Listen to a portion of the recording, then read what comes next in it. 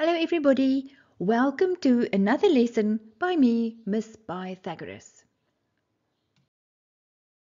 In this lesson, I will explain analytical geometry, more specifically exam type questions. This is lesson 6 of 6. Have you subscribed yet?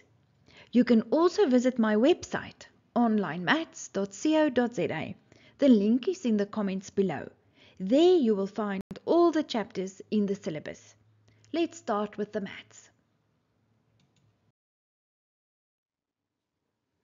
Example 1. In the diagram below, a circle has a diameter with equation y is equal to 2x plus 3.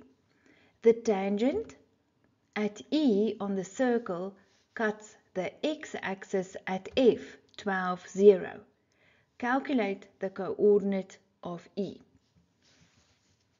Now what we will do is if only we knew the equation of the tangent then we could do simultaneous equations to find the coordinate of E.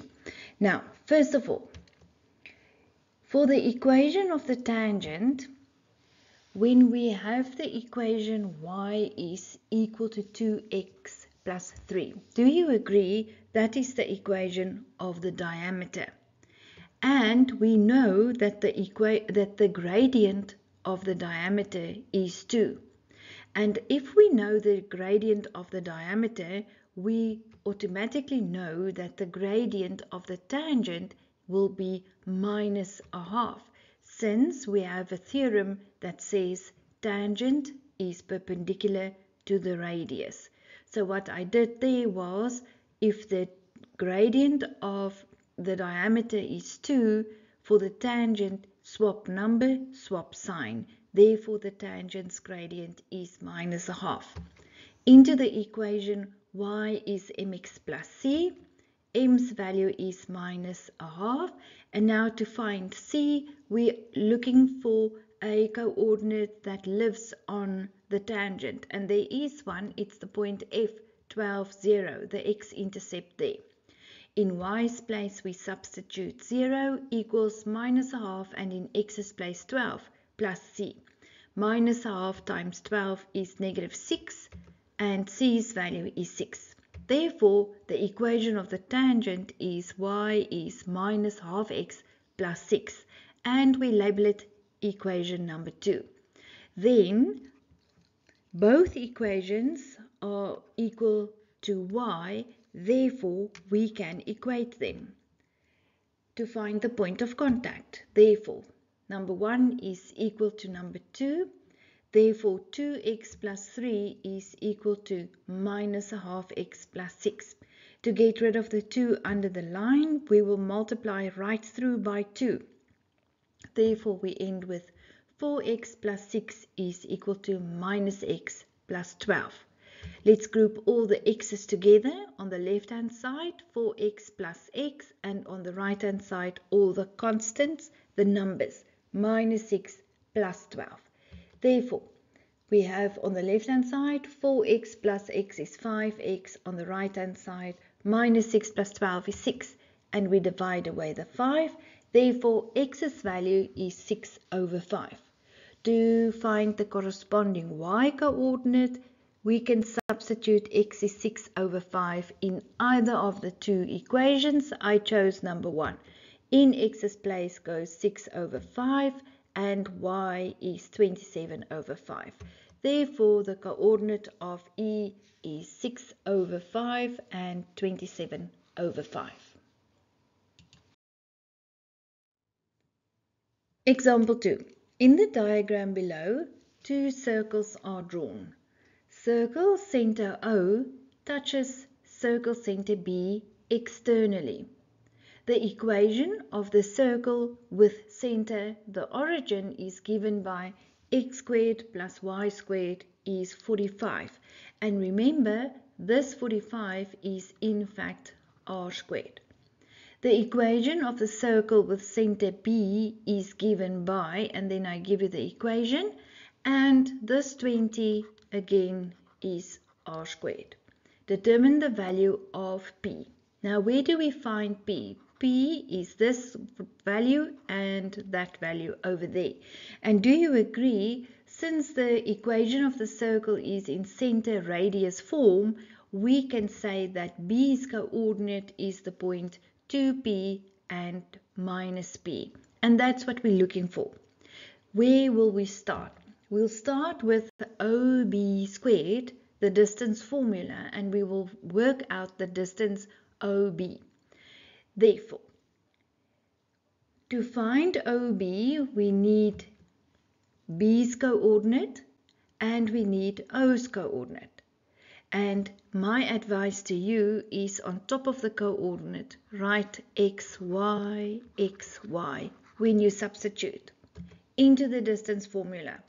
The x at B is 2p minus the x at O is 0 squared plus the y at B is minus p minus the y at O is 0 squared.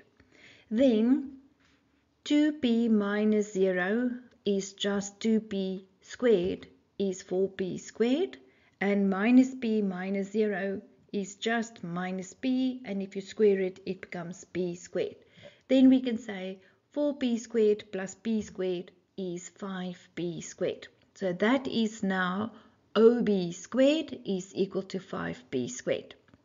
Then we can also say that OB is radius of the center circle with center O plus the radius of the circle with center B.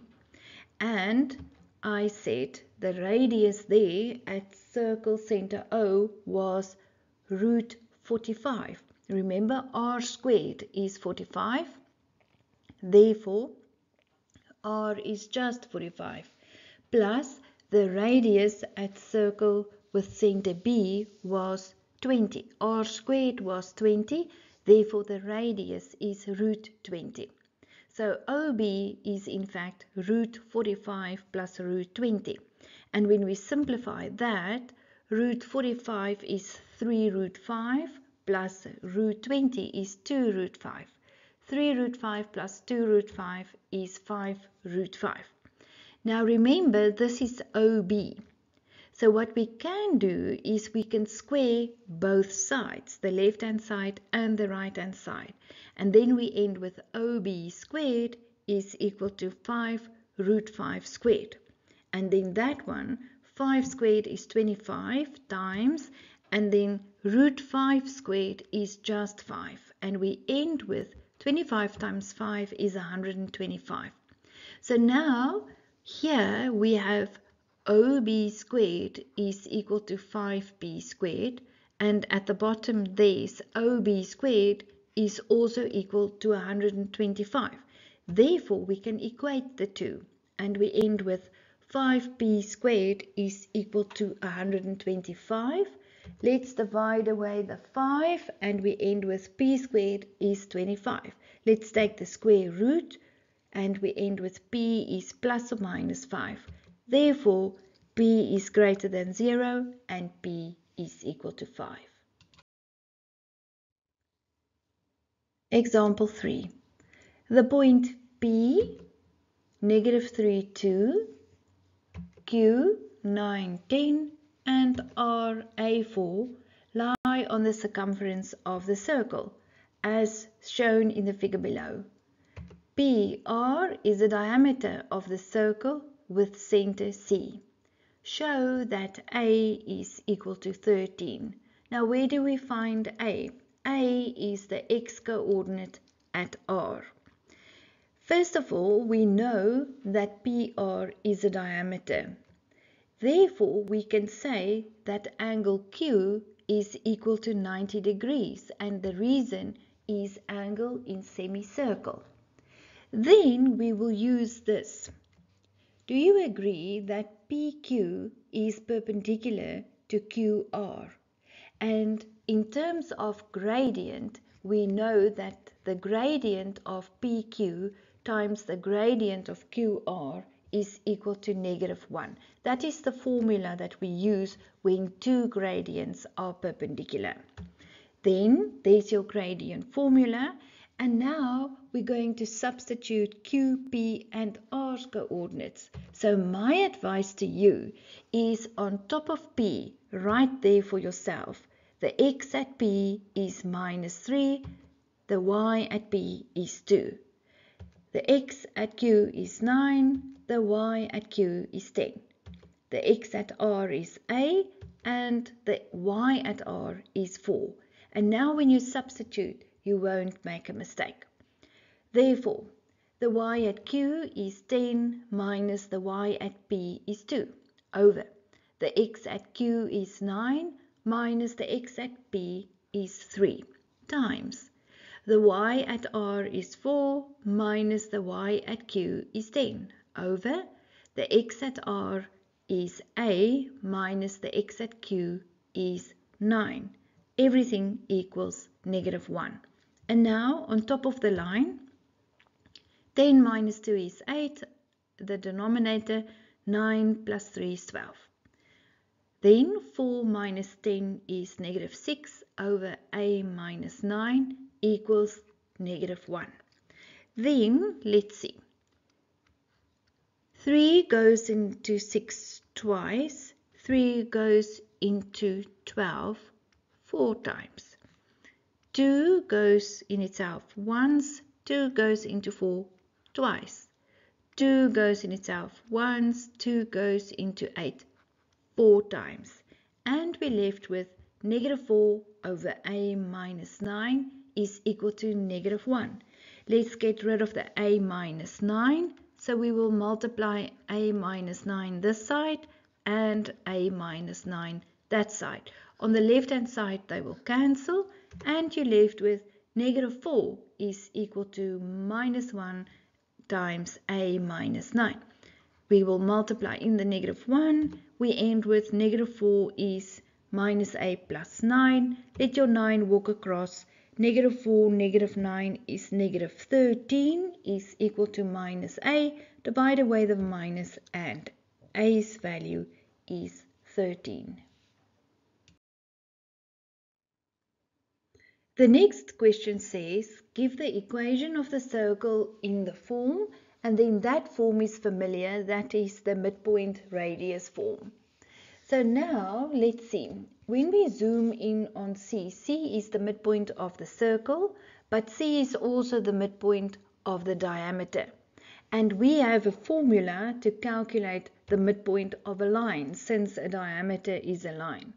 It is the x at C is equal to the x at P plus the x at R over 2 and the y at C is the y at P plus the y at R over 2. Then we're going to use P and we're going to use R's coordinates. So therefore on top of P, x of P is minus 3, y of P is 2. x of R is 13 and the x at R is 4. Now we substitute. In Now, first of all, we will work out the x coordinate at C. Therefore, the x at P is minus 3 plus the x at R is 13 over 2 and that is 5. And then the y coordinate at C will be the y at P is 2 plus the y at R is 4 over 2 is the y at C is 3. Therefore, the coordinate there at C is 5 and 3.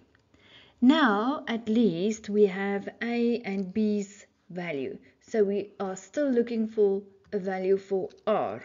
And we will find that with the distance formula to find R.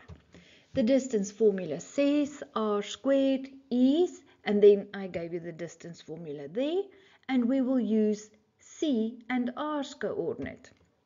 The C's coordinate, you calculated it, it was 5 and 3 and R is the point 13 and 4. And remember, on top of your coordinate, you add that. Therefore, R squared is equal to the x at C is 5 minus the x at R is 13 squared plus the y at C is 3 minus the y at R is 4 squared. 5 minus 13 is negative 8 squared plus 3 minus 4 is negative 1 squared. and then we can say negative 8 squared is 64 plus negative 1 squared is 1. 64 plus 1 is 65. r squared is equal to 65. And don't take the square root there since your formula contains r squared. Therefore, the equation of the circle will be x minus 5 squared plus y minus 3 squared is equal to 65. This is Miss Pythagoras signing off till next time.